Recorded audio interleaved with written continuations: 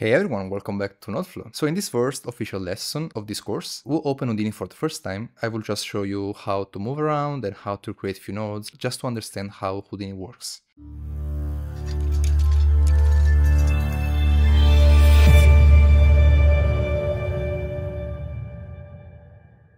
Open the Houdini launcher and just press on launch. In this way, you'll be prompted with a splash screen you will just need to wait a few seconds for that to open. In the first time you open Houdini, that will be a little bit slower, but then it will speed up.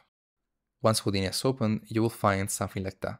And I know this looks crazy hard and daunting because we have lots of buttons here, just wondering how I can use all of them. And you have different tabs on this side. And of course, I get the feeling the first time you open Houdini. So just to simplify all of that, I just figured out that you can press Ctrl, Alt, and S. In this way, we just forget about all of that. And now the UI is way cleaner. And I hope this helps to give the idea that all of those options are not necessarily important for now. At this point, we can basically appreciate two different panels. So the first one is the viewport over here. If you're used to Maya or Blender, this will not be something new for you. It's just where you can see your 3D model and you can go around it and move. On the right side, we can find here the network view. This is where you will create your nodes. And you can see here empty network, press tab to add new nodes.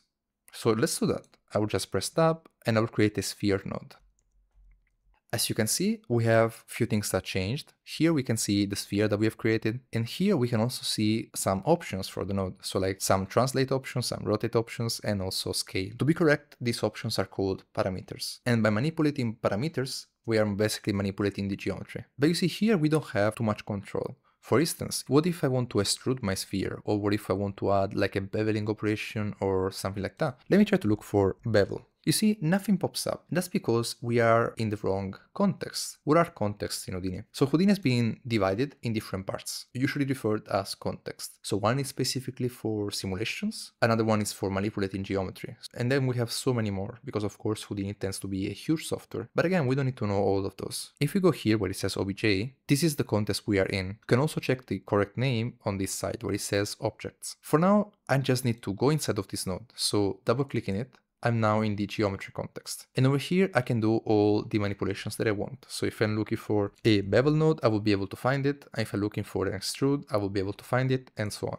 Let's also clarify some of these names. So if you have heard your Houdini friend talking about Houdini, you probably heard something like DOPS, LOPS, SOPs. What is all this mess? This is basically referring to the nodes that you can find in every single context. You see, every single context will have specific nodes for your needs. So in this case, that we are using the geometry context, we have nodes that are referred as SOPs, and that stands for Surface Operators. And operators is just a fancy way to say node. So all these nodes that we find here are for manipulating surfaces. So polygons, faces, edges, and so on. In a simulation context, you will find that the nodes are usually referred as DOPs, so dynamic operator. At this point, I want to show you how to navigate your viewport and your network view. If I go in my viewport, I can just hold Alt and left click and that will let me orbit around my model. If I want to pan, I can do the same with Alt and middle mouse button. And you, as you can see, I can pan around, left, right, top, bottom. And if I want to zoom, you just need to use the right mouse button and you can just zoom in and zoom out. Alternatively, you can also use the scroll wheel. So here you will basically have the same settings, but in this case you don't need to use Alt. So you can just hold the middle mouse button and you can move, or just the right mouse button and you can zoom in and zoom out. Also, we will notice that we have a hierarchy over here. So you see OBJ and then sphere 1. So we have basically created the sphere node inside of the OBJ folder. Now that we have our sphere, let's see how to make that a little bit more interesting. It's very hard to see how many polygons I have. So for that, I will just press Shift and W. This just toggles the wireframe on top of our mesh. And it's useful for these simple operations like, you know, changing the rows and the columns of our sphere. So for now I will set both of them to 35 and you're free to play with all of these parameters just to get the idea of how they influence what we see in the viewport. So remember, these are parameters. In the later chapters, we'll also see attributes, and that's a different thing. If you want to go back to OBJ, you can use the shortcut U, and that basically goes back one level in the hierarchy. Then if you select your sphere again and you want to go inside, you just press I. So U and I are very close in the keyboard, so it's very easy to switch between inside and outside. When you have a more complex hierarchy, that will be even more apparent. But for now, that is great. We are in the geometry context. You're doing amazing. So over here, we can do so many things. Let's start with something simple. I will create a mountain node. If I just drop it down, could give me some errors. You see, it says required geometry to add noise to. So I just need to connect that to my sphere. And Houdini nodes tend to be very particular. You see, you have four buttons. These four buttons are also equivalent to these four buttons that you have over here. You see, they just light up when you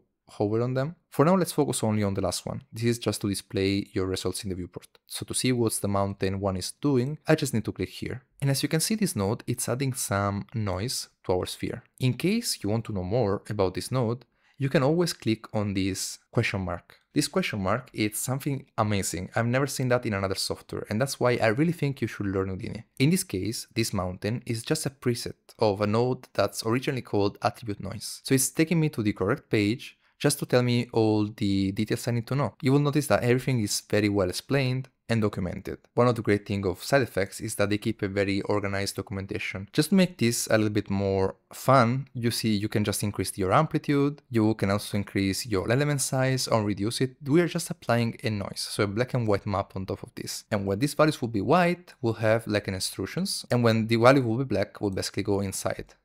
In this case, I want to add a very quick animation, so I can click on this animation button, and you can now see that if I press play, my noise is being animated. Now this is way too fast, right? And this is because before playing everything in your timeline, you should always check this small button. This is a real-time toggle, and it ensures that you play everything back at 24 frames per second. So now, as you can see, I have my sphere animating. At this point, I could also change the amplitude completely live. I can also change the element size, maybe making something that looks a little bit better. And I'll press Shift W to just remove the wireframe. As an extra step, I just want to show you how to add a symbol color. So I'll press tab and I will look for color. Enter and let's drop it down. Of course, don't be scared if it gives an error, just because of course it needs something to apply the color on top. So let's connect our node and let's visualize the color. Nothing is happening and that's because we're setting a color, but it's just white. So we can choose whatever color we want and we can also use this wheel to achieve a very specific color. I will try to make something that resembles the Houdini color, so maybe something like that. And again, that's your first exercise in Houdini. So I really hope I was able to demystify some of these hard concepts in Houdini. As you can see, it's not even that hard. It's just like switching your mind into thinking the Houdini way. I will then press Ctrl Alt and S and you'll see that this is the whole UI. So yeah, thank you for joining me and I will see you in the next one. Cheers!